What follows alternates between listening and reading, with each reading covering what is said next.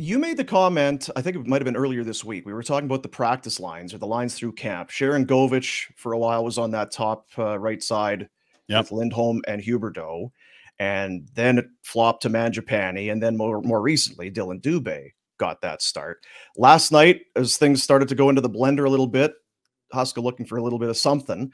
Uh, Mangiapane goes back up to the top to the top line and made some things happen. It's a great Delivers. play uh, terrific play on the the game winning goal for uh, for Lindholm. He gets the empty netter, scores on the power play. The second power play unit gets the opening goal of the game.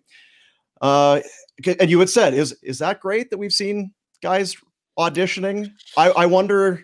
It feels like go ahead, Andrew. Have have a bounce back year, get those numbers back, and there's no better opportunity for that than playing with those two guys. I don't mind that. I mean, Uh, uh, it's two things, right? It's some guys not doing enough to stay on the top line, yeah. and it's Mangiapane doing better to stay to get up there, right? Like I don't like in the first game or through through training camp that they're monkeying with the lines too much, but it happens. And I I guess the point I'm trying to get to is I don't think Sharangovich and Kadri have stood out enough. And that's I think if you want this team to be have that depth that we believe we have, they have to be better.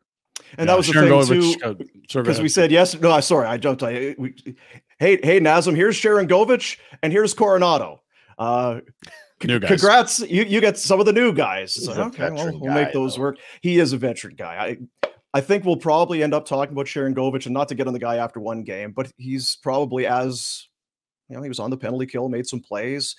I didn't see him a whole lot in the offensive zone. I want to ask you about Coronato though. Nearly scores. It was 10 minutes oh, in. 22 on the back door, almost had his first oh, had his man. first goal. I would have been wasn't dancing. Plus 2200. Plus 2200 if yeah. he tucks that one in. And it looks yeah. like he kind of short sided it a bit. He caught the post. Oh, he uh he's gonna be just fine.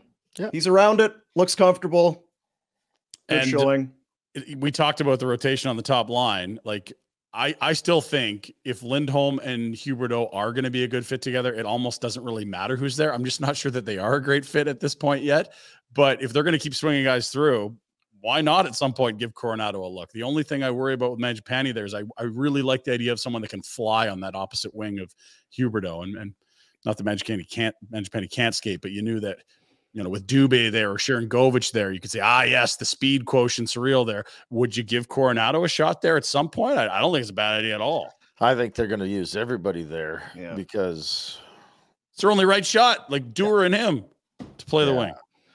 I think he'll get a chance up there, and if he can make it work. But I think what you said is more important. Can Lindholm and Huberdeau make it work? Hey guys, thanks for watching. Be sure to check out more of our content right here on the Flames Nation YouTube page. We had a bunch of great long form interviews. You can check out some videos we've done as well outside of the studio. And of course, if you want more writing or merchandise stuff, flamesnation.ca or nationgear.ca. Appreciate you watching.